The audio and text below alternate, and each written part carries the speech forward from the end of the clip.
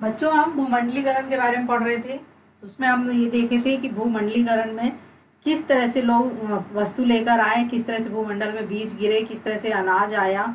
हमने ये सब देखे थे, रेशम प्लेन भी देखे थे, उसके फल किस तरह से आए थे, सब्ज़ियाँ किस तरह से आई थी, क्योंकि सारी चीज़ें जो हमारे यहाँ मिल नहीं रही थी। जिस तरह से एक व्यक्ति एक स्थान से आता है, दूसरी जगह जाता है तो कुछ ना कुछ वस्तु लेकर जाता है, कुछ कुछ मुद्राएँ लेकर जाता है, इस तरह से वह सारी चीज़ें जो एक जगह से दूसरे स्थान पर स्थानांतरित हुई। ये सारी चीज़ें हमने उस समय देखा था। अब देखेंगे रेंडर पोस्ट में मवेशी प्लेग प्लेग क्या है एक महामारी के रूप में उस समय फैला हुआ था। ये प्लेग जो था, वह एक तो चूहों से फैलता है, जिसमें मवेशियों में भी फैलता है, क्योंकि ये जो है, कीटाणु जो है, बड़ी तेज़ी से फैलते हैं और ये एकदम से महामारी का रूप ले लेते हैं। तो अफ्रीका में ये 1890 के दशक में ये रेंडर पेस्ट नामक बीमारी जो थी, बहुत तेज़ी से फैली थी और ये मवेशियों में प्लेग की तरह फैलने वाली एक बीमारी थी, जिससे लोगों की आजीविका और स्थानीय जो अर्थव्यवस्था थी, उस पर इसका गहरा असर पड़ा था।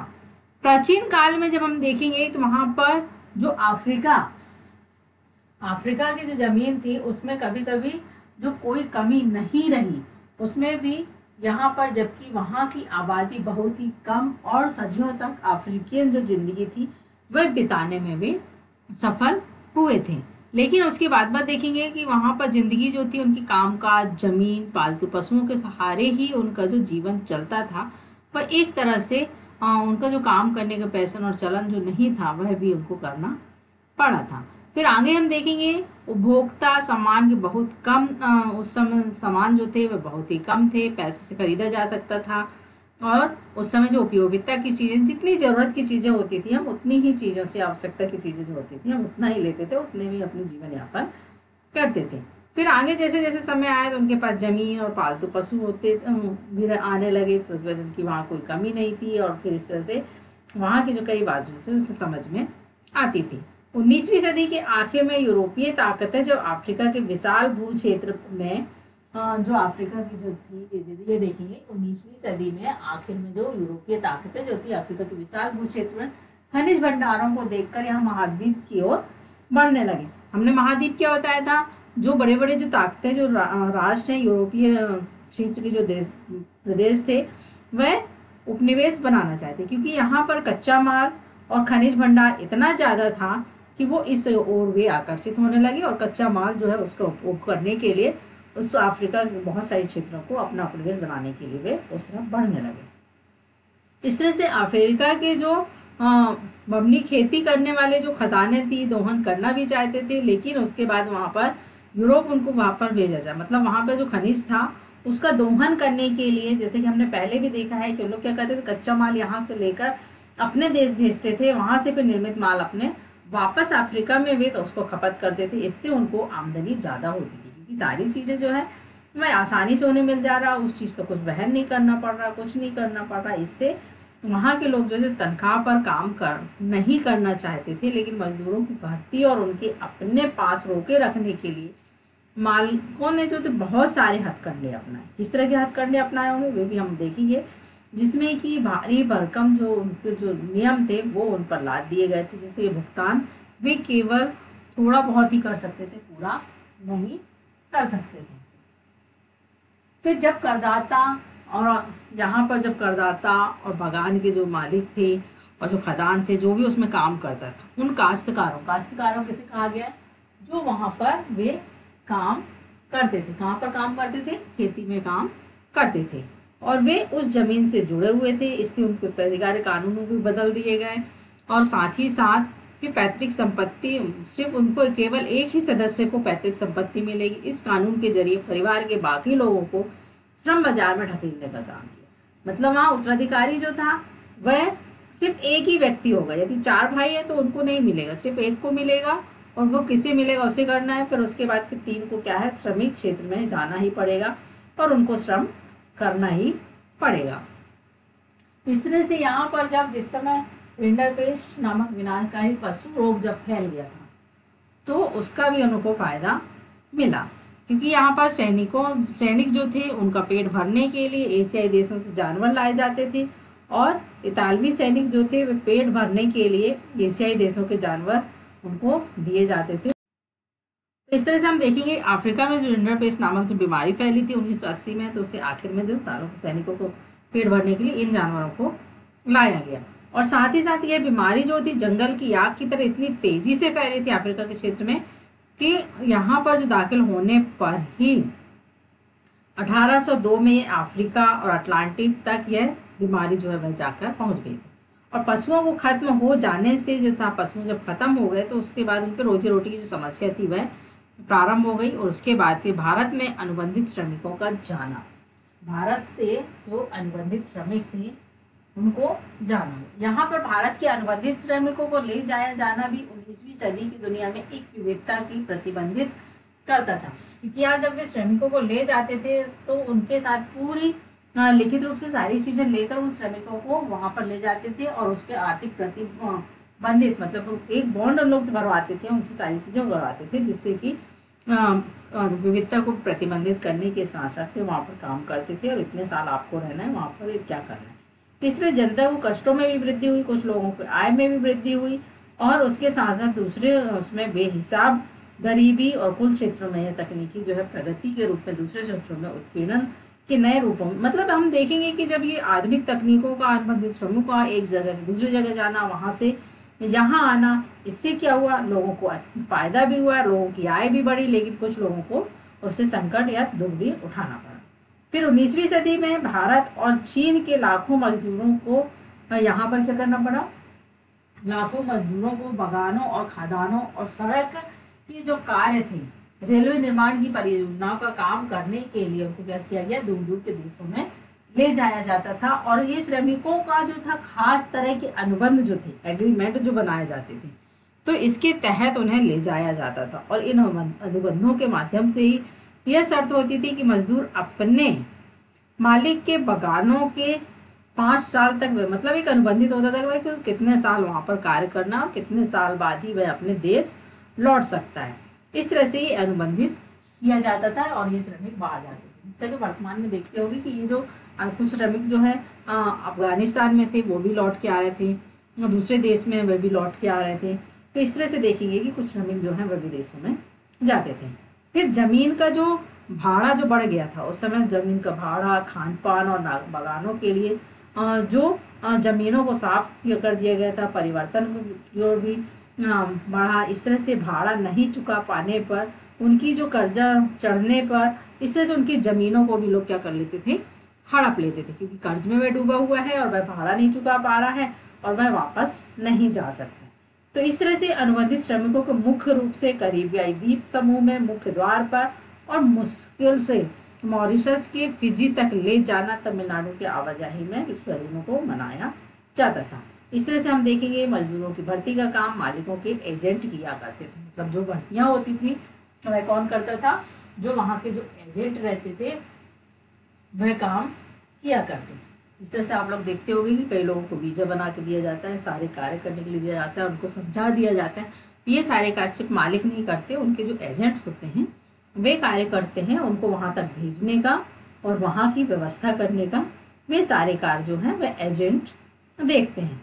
ये उन्नीसवीं सदी को इस उन्नीसवीं सदी के जो इस अनुबंध की व्यवस्था के बहुत सारे लोगों ने नए दास प्रथा को भी नाम दिया। नई दास प्रथा इसलिए नाम दिया क्योंकि ये अपना कार्य करने के लिए कहाँ जाते थे? विदेश जाते थे। अनुबंध होता था जिस तरह से पहले बताया कि इनको पाँच साल करना है, तीन साल करना है, छह साल करना है। उसके बाद ही वह स्वदेश लौट सकते इस तरह से यह एक तरह की नई दास प्रथा भी उस समय प्रारंभ हो गया था। लोगों ने इसको नाम नई दास प्रथा के रूप में दिया था। इस तरह से नई जगह जीवन की कार्य स्थितियाँ उस समय की कठोर था, क्योंकि मजदूरों के पास कानूनी अधिकार कहने के लिए भर को ही नहीं थी बल्कि बस क्या था, इसके बावजूद मजदूरों में भी ज़िंदगी बसर करने के लिए अपने अपने तरीके ढूंढ निकाले थे। मतलब उस समय क्या था, जो कानून बनाए गए थे, यदि हम दूसरी जगह जाएँगे, वहाँ की परिस्थिति का हमें कोई अनुभव नहीं है कौन सी परिस्थिति कैसी है, उसके बारे में हमें कुछ पता नहीं है, लेकिन उसके बाद भी हम वहाँ जाकर अपने जीवन यापन करने के लिए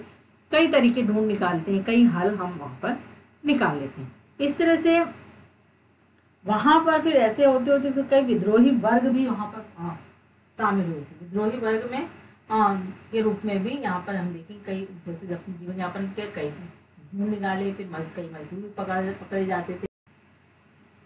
यहाँ पर देखेंगे कि मेले का रूप भी उस समय दे देते थे। मेले को हौस या इमाम हुसैन के नाम पर जाना था जाना जाता था। और यहाँ पर कई लोग विद्रोही धर्म जिसे जमेका का राष्ट्रीय गायक के रूप में जाना जाता था। इस तरह से भारतीय आप्रवासी और कैरेबियाई द्वीप समूह के बीच जो है, एक ऐसे संबंधों की झलक देखी जा सकती थी, जिसमें कि त्रिनिदाद और गुयाना की मस्तूर चटनी। इस तरह से कई चीज़ें उदाहरण हैं, जो कि सब हम अपने अपने तरीके से अपने पेशेवर को लेकर गए थे।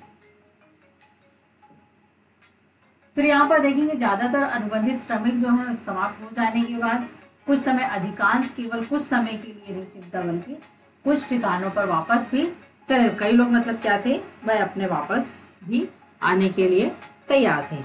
इस तरह से क्रिकेट खिलाड़ी विश्व विश्वसनीय चंद्रपाल सिंह और इस तरह से बीसवीं सदी के शुरुआती सालों में भी हमारे देश में राष्ट्रवादी नेता इस प्रथा का विरोध करने लगे थे कि आवश्यकता और उसके व्यवस्था के लिए हम क्या कर सकें विदेश में भारतीय उद्यमी। विदेश में जो भारतीय उद्यमी थे, वे विश्व के बाज़ार के लिए खाद्य पदार्थ, फ़सलें उगाने के वास्ते पूंजी की आवश्यकता थी।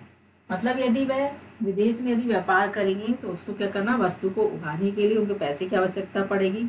और साथ ही साथ देसी व सागर महाजन के दृश्य में आते थे। इसीलिए उनको इस चीज़ की आवश्यकता पड़ती थी। और साथ ही साथ इनको चार क्या होता था, इनको पैसे की आवश्यकता स्वाभाविक है, जब हमें व्यापार करना है, या कुछ करना है तो हमें पैसे की आवश्यकता होगी। जे, जेब में, अपने जेब में यदि पैसा लगाते थे तो यूरोपीय बैंक जो उन्हें कर्ज लेते थे और उसके बाद दूर दूर से पैसे पहुँचाने की एक व्यवस्थित पद्धति होती थी, जिससे कि व्यवसायिक संगठनों के माध्यम से वे उसको कर सकें। फिर भारतीय व्यापार जिसमें दिया है भारतीय व्यापार, उपनिवेशवाद और वैश्विक व्यवस्था। भारतीय व्यापार व्यापार जो था, वह पनपने लगा था। फिर उपनिवेशवाद उपनिवेशवाद मतलब हमारा क्षेत्र कितना बड़ा है। फिर वैश्विक व्यवस्था मतलब उसके लिए भी एक नियम बनाया गया था। तो यहाँ भी देखेंगे, एक गिरवटिया मजदूर की आप जो दी हुई है, जब इसको हम पढ़ेंगे, इसमें भी हमको वही चीज़ें देखने को मिलती है कि विदेश में किस तरह से उनके साथ कौन सी परिस्थितियाँ उत्पन्न हुई थी।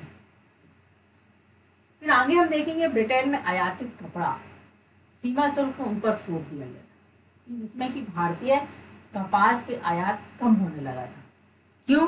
क्योंकि जब हम उस वस्तु को आयात करेंगे तो उसमें यदि सीमा शुल्क लग गया तो वह चीज़ें क्या हो जाएगी? हमारे लिए महँगी हो जाएगी। और इससे लोग क्या करेंगे? जब वस्तु महँगी होगी तो बिकेगी नहीं, इसलिए हम उस चीज़ पे पैसा कम लगाएँगे और वस्तु की आयात करना भी हम कम कर देंगे। इस तरह से दूसरे देशों में हमारे देश के जो कपड़े नए नए बाज़ार ढूँढने लगे थे और साथ ही साथ आंकड़ों का अध्ययन करने से पता चलता है कि सूती कपड़े जो निर्यात सूती कपड़े का प्रतिशत जो तीस प्रतिशत था। लेकिन 1815 में घटकर 15 प्रतिशत क्यों हो गया? क्योंकि इन्होंने सीमा शुल्क बढ़ा दिया था किस पर? आयात पर। इसलिए हम कप, आ, कपास जो कम आयात करते थे और साथ ही साथ उसका उत्पादन भी घटकर पंद्रह प्रतिशत रह गया था। आगे फिर हम देखेंगे कि यहाँ पर कपड़ों की रंगाई, उसके लिए इस्तेमाल होने वाले नीस जो होने वाले जो नील है, और उसके बाद वहाँ पर 1820 के दशक में, चीन में बढ़ी हुई जो मात्रा थी, अफ्रीका अफीम का तो उसका हिस्सा भी सबसे बड़ा ज़्यादा रहा, क्योंकि ब्रिटेन सरकार जो है भारत में अफीम की खेती करवाती थी और उसे चीन के निर्यात कर देती थी। मतलब अफीम उस समय बहुत महँगा बिकता था और वह क्या करती थी यूरोप के अपने उपनिवेश में वह उस चीज़ का उत्पादन करा के अफीम को और ऊँचे दामों में बेच देती। थी उसी तरह से उन्नीसवीं सदी में भारतीय बाज़ार में ब्रिटिश औद्योगिक उत्पादों की बाढ़ आई थी। यहाँ पर ब्रिटिश उद्योगिक उत्पादों की बाढ़ आई। जिस तरह से हम देखेंगे कि अंग्रेज़ हमारे देश में किस तरह से कब्जा किया था, क्योंकि उन्होंने क्या किया था, यहाँ पर सिर्फ़ व्यापार करने के लिए आए हुए थे। व्यापार करने के साथ साथ उन्होंने देखा कि यहाँ पर परिस्थितियाँ कैसी हैं। यहाँ पर खनिजों का भंडार है तो इस तरह से उन्होंने यहाँ पर शासन करने का सोचने लगे। थे तब फिर उन्होंने क्या किया? मुठ्ठी भर लोग भी हमारे यहाँ शासन करने लगे और सौ वर्ष तक शासन किया। इस तरह से देखेंगे कच्चे मालों के निर्यात और इजाफा हुआ। ब्रिटेन में माल भारत भेजा जाता था, उसमें ज़्यादा होती थी और उसके चक्कर में व्यापार अधिशेष, जो थी व्यापार अधिशेष की व्यवस्था उत्पन्न हो गई थी। इसमें व्यापार में हमेशा ब्रिटेन को ही फ़ायदा रहता था। जिस तरह से हमने बताया कि यूरोप भी उत्पादन करती थी, कच्चा माल यहाँ से लेकर जाती थी अपने देश में। उसी तरह से ब्रिटेन भी यहाँ से ब्रिटेन में भी व्यापार की अधिकी जो हासिल हुआ। क्यों? क्योंकि यहाँ पर भी 19वीं सदी में विश्व की अर्थव्यवस्था का रूप कम करने के लिए अहम भूमिका उस समय उन्होंने अदा की। और फिर ब्रिटेन में जो था, अधिशेष जो हासिल हुआ, उसमें एकाधिक होम चार्जेस मतलब देसी चार्ज होम चार्जेस मतलब क्या था? देसी चार्ज थे वह लगाना चालू कर दी थी इसका निपटारा होता था क्योंकि यहाँ पर भारतीय बाहरी कर्ज में ब्याज व्यवहार जो होती थी, वह अपने ढंग से उनको भेजी जाती थी और भी अफसरों को पेंशन शामिल होती थी। मतलब इसमें क्या होता था, ब्रितानी जो अफसर होते थे, उनको उसी से पेंशन दिया जाता मतलब हमारे देश का ही कच्चा माल, हमारे देश में ही उसको वापस ला के उसको बेचा जाता था। इस तरह से उनको अधिक से अधिक लाभ उनको होता था। फिर इसी तरह से हम देखेंगे कि उससे हम व्यापार जो करते थे वह किस तरह से करते थे, जो बिज़नेस करते थे, अपनी विश्वास को किस तरह से इन्होंने बढ़ाया, वो चीज़ें हमने देखी और जो भी नुकसान होता था, वह भरपाई जो है, हमारे देश के दूसरे देशों के मुकाबले क्या होता था यहाँ पर व्यापार द्वारा उससे मुनाफा भी कमा रही थी।